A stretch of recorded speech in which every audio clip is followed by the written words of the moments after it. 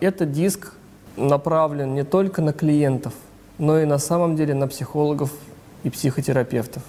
На этом диске вы найдете информацию, которую я собирал свыше 4000 рабочих часов. Я поделюсь с вами наработками, которые до сих пор были только в моих рабочих блокнотах и моих рабочих папках. Этот диск посвящен поиску того самого внутреннего конфликта, работе с мыслями, убеждениями, то бишь работа с тем, что приводит нас к неврозам.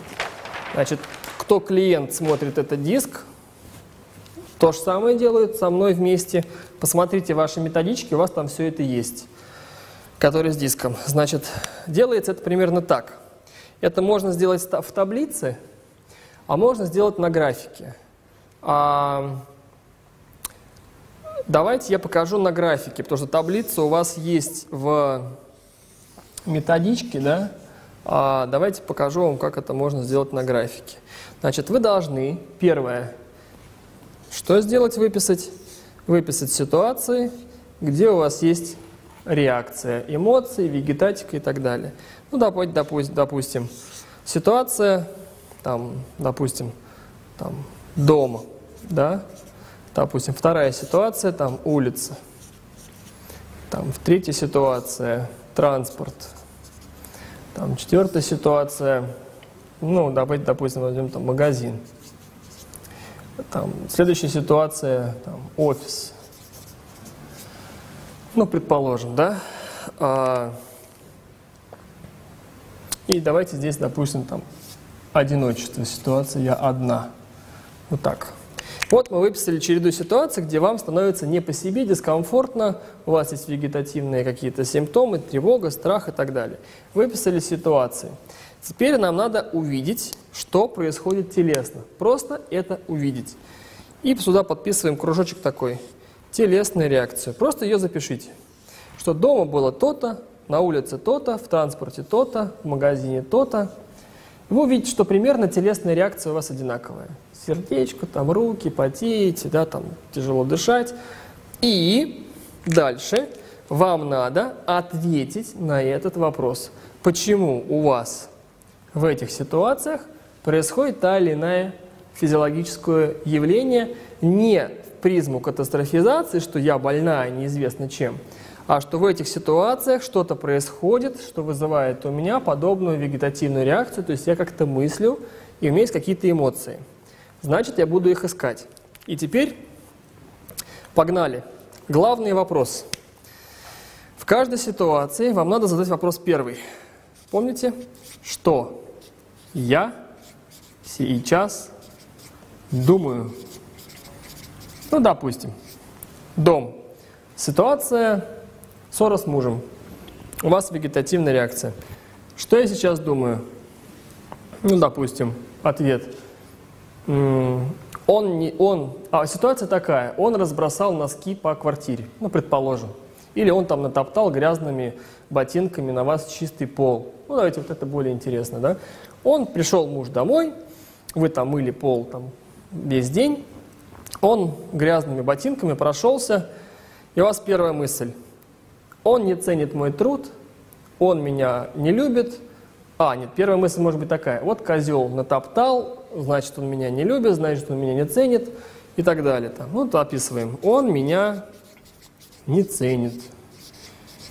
Или он, он обесценивает мои усилия там, и так далее.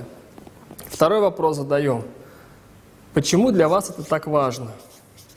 Почему для вас это важно? У вас в методичке все эти вопросы есть. Не, в, не вчитывайтесь в то, что я тут пишу. Просто слушайте, смотрите методичку. Почему для меня это так важно? И тут начинают всплывать интересные вещи. Либо он должен а, ценить мой труд, или это ужасно, если он меня не ценит, и он меня хочет бросить и развестись вообще со мной. То есть муж просто пришел, натоптал ногами. О том, что он видит, не видит, устал, не устал, больной, не больной, там, случайно, не случайно, у вас таких мыслей нету. У вас есть четкое убеждение, что он уже вас не любит, что он уже с вами готов развестись, что он уже ублюдок и там сволочь, у вас, таки, у вас сразу вот это идет история. Почему для вас так важно? Потому что он не должен меня бросить там и так далее. Ответ. Почему для вас так важно? Потому что... Почему? Ну, допустим, он должен меня ценить, потому что я героиня труда. Он должен меня ценить.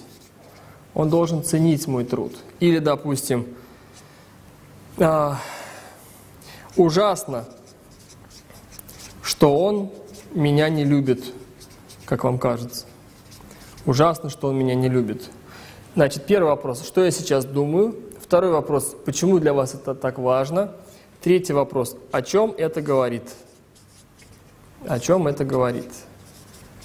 Ну, допустим, это говорит о том, что я несчастная женщина и останусь одна, и никому больше не буду нужна, и вообще все это ужасно и так далее. Потом ситуация на улице. Там, я иду по улице, мне закружилась голова, там, мне было вегетативно нехорошо. Что ты сейчас подумала? Что я сейчас могу упасть. Почему для тебя это так важно? Я не должна падать, потому что все посмотрят и подумают, что я какая-то слабая или там хиленькая. О чем это говорит? О том, что я не должна падать и не должна показаться слабой. Ситуация в транспорте, там, в метро, допустим, да? А она ехала, у нее застучало сердечко. Что ты сейчас думаешь? Что у меня может случиться паническая атака. Почему для тебя это так важно? Что она должна там случиться или не случиться? Я запаникую буду казаться какой-то странный и там больной какой-то, да? О чем это говорит? И это говорит о том, что я не должна показаться публично какой-то нездоровый, чтобы все на меня смотрели и пальцем показывали. Магазин, то же самое. Стою в очереди и думаю, у меня вегетативное напряжение, что ты думаешь в очереди? Быстрее бы прошла очередь, а то сейчас как упаду или запаникую, начну орать, тут давайте все проходите быстрее, сволочи. Почему для тебя это так важно? Я не должна показаться, со мной не должно произойти плохой ситуации, чтобы я не потерял над собой контроль. Я не могу потерять контроль, потому что я буду лохушкой. Почему, о чем это говорит? это говорит о том, что я не должна э, проявить себя негативно, допустим, демонстративно. Да? Офис, ситуация там, презентация, там, подготовка документов или просто переговоры, вегетативное напряжение. Что ты сейчас думаешь? А, только бы не облажаться на презентации или только бы подготовиться правильно. Почему для тебя это так важно? Я не должна совершить ошибку, иначе не подумают, что я полная бездарность и ни на что не способна. Да? А, и они меня там уволят, отругают. О чем это говорит? Это говорит о том, что я буду выглядеть ужасно в глазах начальника. Ребята, здесь еще можно встроить э, фразу, знаете, какой интересный вопрос. Что будет? Что будет, если? Ну, допустим, что будет, если ты упадешь? Что, будет, что ты будешь думать, если ты сделаешь ошибку? Что будет, если ты упадешь? Что будет, если муж натоптал? Что будет, если там, у тебя закружится голова, и ты упадешь в обморок? И что будет? Ну, я буду выглядеть слабо, я буду выглядеть ужасно и, и так далее. С помощью таких вопросов и разбора каждой ситуации вы сможете, посмотрите методичку, да, увидеть, что в разных ситуациях, но мыслите вы как? Одинаково. Я не должна упасть, я не должна потерять над собой контроль, я не должна там, показаться какой-то лохушкой, показаться еще что-то. И здесь будет одна история. Я слабая, там, беспомощная, я не должна показаться там какой-то смешной там, и так далее. И у вас вот здесь выстраивается одна и та же история. И вот вы нашли убеждение. Я не должна показаться слабой, или если так случится, они не будут меня любить, или я буду испытывать чувство вины. Теперь смотрите, у нас есть пять основных преломлений. Вот это понятно, как мы ищем мы в каждой ситуации задаем вопрос, что я сейчас думаю, что будет, если так случится, почему для меня это так важно, о чем это говорит. Научно-когнитивная терапия доказана, что тот, кто это делает, изменение есть, во всяком случае, она симптом-центрированной считается, да? То есть она не глубокая, не слишком глубокая, а, потому что, чтобы ее сделать глубокой, я сейчас вам покажу как, чуть дальше, да?